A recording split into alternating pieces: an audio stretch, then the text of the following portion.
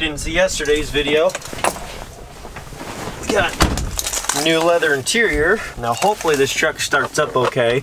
And no, not because it's a 7.3, but because the battery was killed when it was left at the interior shop just because the doors were, I'm guessing, open for a little while between taking the seats out and putting it back in and batteries got really weak until they died. Hopefully it's not dead and uh, we can get this thing fired up here, no problem. I let the fuel system cycle and you can kind of hear it behind the dash cycling because it's right up back there. Um, but we should be good to go. So let's let's let's just hope it's not dead.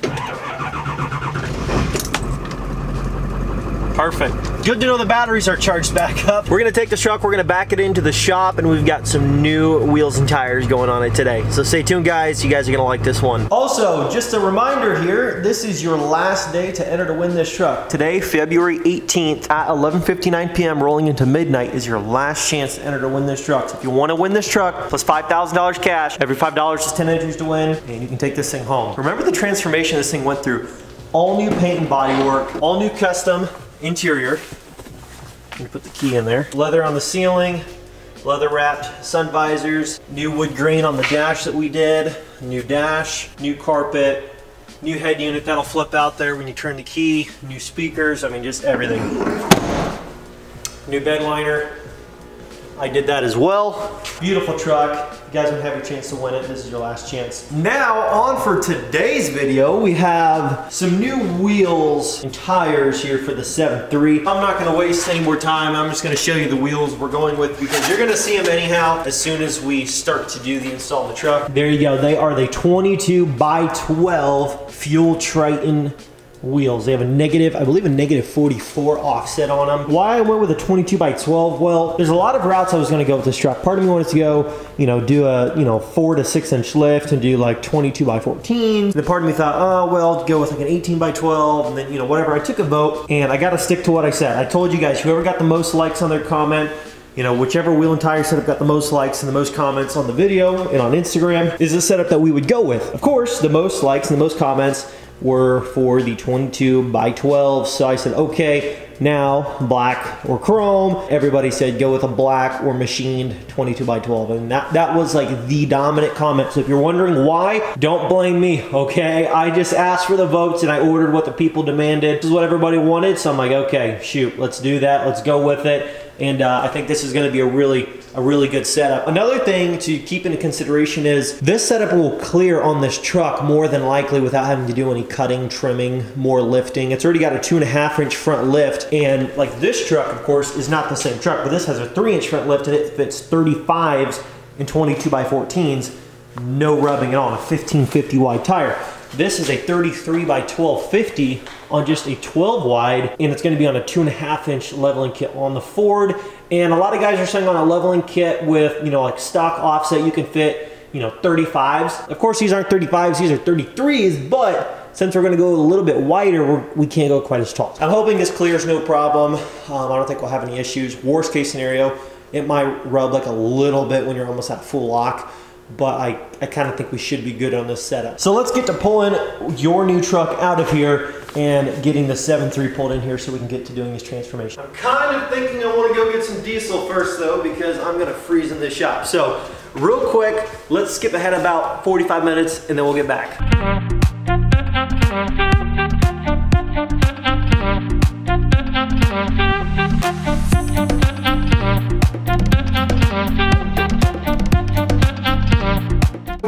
Bit of a predicament here. So I had no idea this truck had front spacers on it. So I took them off. And the reason I took them off is I feel like with these front spacers on, it's not gonna clear these wheels and tires and be as daily drivable as I would like them to be. Therefore, I'd rather have them off. And this kind of seemed a little bit odd to me. Um, why is this one stud cut shorter? I don't know why. That makes me feel like they had a problem with them um, not being super high quality as it is. And so therefore they had to shorten this stud and kind of like rethread it. Um, because you can definitely tell it's like not cut, you know, not cut, not cut, not cut, not cut, not cut, and then this one's cut down. And the lug nut that I took off was hardly threaded on there And I don't like that idea. So I'm gonna take the spacers off. They could be on the back because these kind of look like they're the same newer color um, threading. Uh, if that's the case, then I'm just gonna be taking them off because it looks like they put them on there to try to, you know, keep the tires flush with the body lines um, because they didn't have any aftermarket wheels on it. However, I don't want to do that to this truck. I want to be able to have the actual lugs um, mounted directly to the wheels. I don't want to have a spacer stacked. But all I'm going to say is it's nothing against you if you put those on and you're watching this. All I'm going to say is I don't trust those types of spacers as much as I would like Bora hub centric spacers. It's just not it's just not my thing. You see how this is flat and flush? There's nothing for the actual wheel lip to ride on. Therefore, all the weight is riding on the lugs. Okay, so that's why I don't trust them. Um, but anyways, so we're gonna get to installing this right here and uh, hopefully everything is good from there. But it does look really clean underneath, um, very well and taken care of and very clean.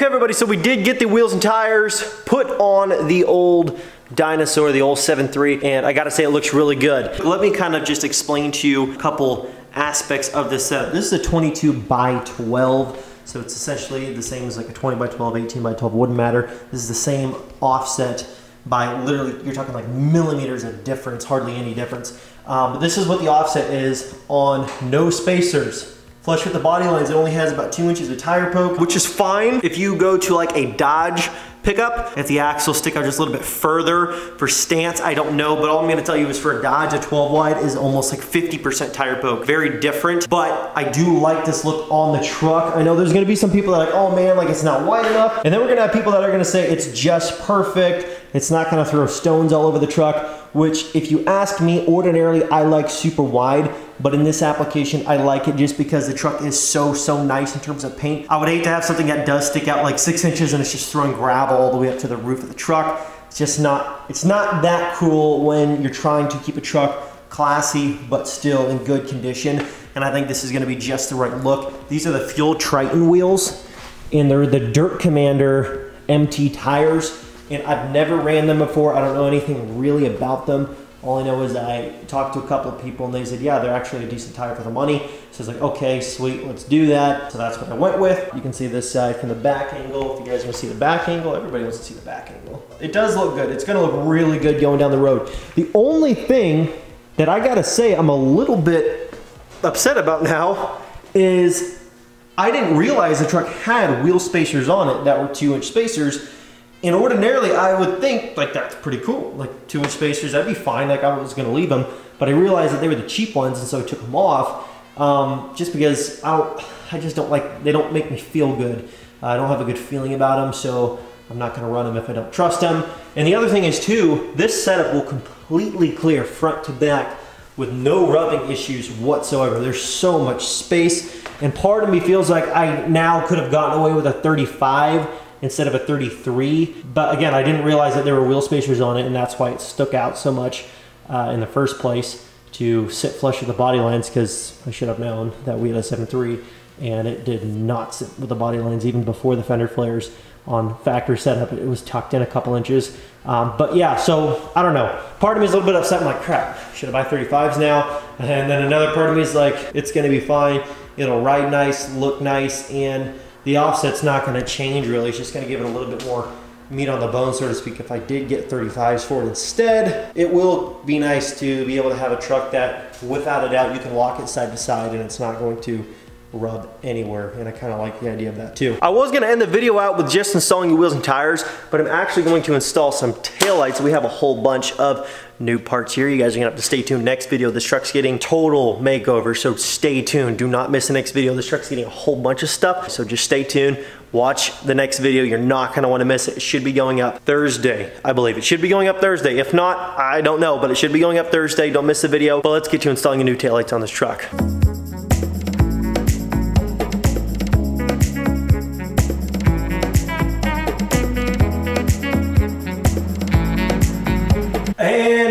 Done. Holy smokes. Check out these taillights. Oh my goodness. I don't think it does proper justice in the daylight or through the camera lens because it makes them look almost like white. But they're definitely extremely bright red. I mean, these are, these are just awesome. I love them, I really do. Even the shape of the headlight, if you look, it really brings in like that modern look of like the 2013, 14, 15 you know, Super Duties where they're kind of like popping out away from the body lines just a little to kind of give them their own form. It looks really, really good. You can see what I'm talking about here. See how it kind of pokes out? It looks really good. It really ties in well with the lettering on the truck. It does, again, it doesn't do justice to the camera lens because it looks kind of like yellowish or whitish compared to this red. But in the flesh, in real life, one-on-one, -on -one, not looking through the lens or through the screen, these match very well. It actually looks really, really incredible. Quick recap on what we've done so far. We've got wheels and tires, new cab lights, we did new tail lights, we've done the third brake light, we've done our own leather interior to turn this thing into looking like an old school platinum or uh, actually I, I, like the way this truck looks more than the old Platinums did because I know that in 01 they did actually make a Platinum based on the comments I saw and I looked it up. I'm like, dang, I was wrong. They actually did make one. I just had never heard of one. Apparently they did. But I gotta say, I like this a lot more. I like the way the stitching is done more. I like the quality of this more than, you know, even my dad's Lariat that he had. Like, it was nice, but it wasn't as nice as this. Not to mention his seat ripped. I think he bought it in 03 and it was an 02 and it was ripped across here by 07 I think it was just ripped to pieces. I mean, it just did not hold up very well. I know that everybody's gonna say it depends on how you care for stuff and you know whatever else. They just rip so easy. And I know that a lot of vehicles, even though it's leather, it's not actual leather, but still, it's kind of like you own a vehicle like five years and it's ripped. It's just crazy. I got a lot of other stuff I got to catch up on today, but let me know what you guys think of how this turned out with the tail lights, the wheels and tires today. Like there's just so much more happening. I still got to, we're doing all sorts of cool stuff with this truck yet. And I'm gonna show you in the next video the big plan for this truck that's gonna really change the look of this thing. And I've already kind of told you it's gonna look like a 6.0 up front, but I'm talking not just like a 6.0. It's gonna look a lot better. It's gonna be crazy. So stay tuned keep in touch with the channel. Please turn on post notifications. If you don't know what post notifications are, it's that little bell next to the subscribe button or on my main account page, it'll say this little bell, you click it and say turn post notifications on.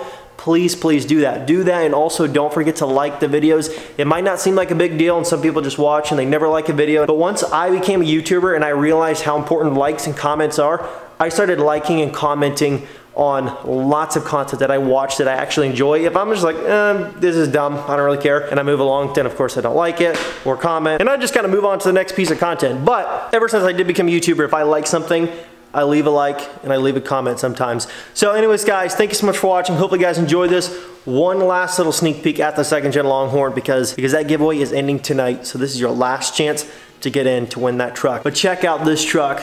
And just remember, this is your last chance to enter to win it. And every $5 gets you 10 entries to win. And this truck could be yours. Go to lnpgear.com. It ends tonight at midnight.